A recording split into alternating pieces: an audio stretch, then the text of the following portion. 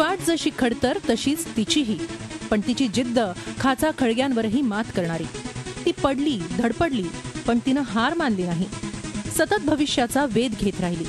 आणि त्या जिद्दीच्या जोरावरच तिनं इतिहास रचलाय. आंतरराष्ट्रीय ॲथलेटिक्स चॅम्पियनशिपमध्ये तीन हजार मीटर स्टिपल चेस शर्यतीत टॉप टेन मध्ये तिनं स्थान पटकावलंय. आम्ही बोलतोय ललिता बाबर विषयी. सातारा जिल्ह्यातल्या दुष्काळी माण तालुक्यातल्या मोही गावची ललिता. घरची परिस्थिती अत्यंत गरिबीची.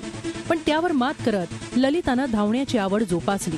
त्यासाठी प्रचंड मेहनत घेतली. घरातले तिचे पुरस्कार पदकं पाहून त्याची प्रचिती येते.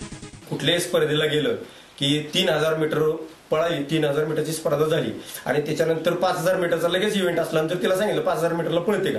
तर लगेच म्हणा हो पळते. नाही हा तिच्याकडे शब्दच नाही. कधी दम दम पण तिला कधी लागत नव्हता. ललिताच्या या यशामुळे तिचे कुटुंबीय भारावून गेले गरिबीतही ती एवढं यश मिळवेल असं स्वप्नातही वाटलं नसल्याचं तिचे पालक सांगतात. आपली परिस्थिती नाजूकच एकदम गरीब परिस्थिती नाही गेलेली म्हणजे. आपली परिस्थिती एवढी आतापर्यंत जायला अशी पातळीवरती जाईल किंवा अशी आपल्याला जाणीव नव्हती किंवा आपल्या स्वप्नाचं नव्हतं. पहिल्यापासूनच तिला आवड होती खेळायची. खेळाची सुद्धा आणि शाळेची सुद्धा घरच्याची सुद्धा तिला होती. आणि घरच्यांनी तिला सगळ्यांनी सहकार्य केलं किंवा सगळ्याला आवडत बी होती.